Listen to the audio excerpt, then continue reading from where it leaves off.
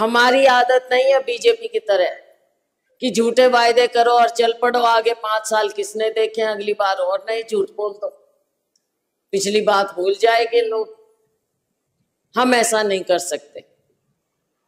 तो साथियों, आपसे मैं ये कहना चाहूँगी कि कांग्रेस पार्टी आपको न्याय देगी।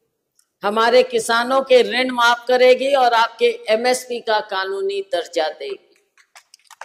हमारे युवाओं की पहली नौकरी पक्की की जाएगी। बहन कुमारी बहन कुमारी हमारी गरीब बहनों का काम किसी से कम नहीं है। मेहनत मजदूरी भी करती हैं और घर का भी काम करती हैं।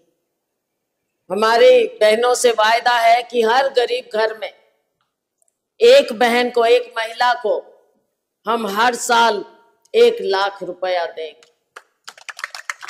और साथियों,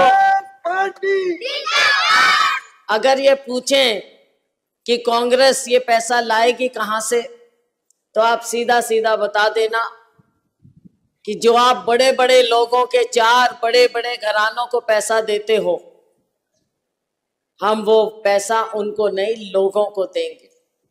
पैसा सब आ जाएगा, नियत साफ़ चाहिए। और कांग्रेस की नीयत साफ़ हो। कांग्रेस की नीयत मजदूर के लिए है, किसान के लिए, गरीब के लिए है, मध्यम वर्ग के लिए सब के लिए कांग्रेस की नीयत साफ़ है। और आने वाले समय में आप सभी साथियों, मेरी बहनों 25 को आप हमारा साथ दें ताकि हम आगे आप लोगों के साथ subscribe our channel for latest news and updates and don't forget to press bell icon for latest notifications.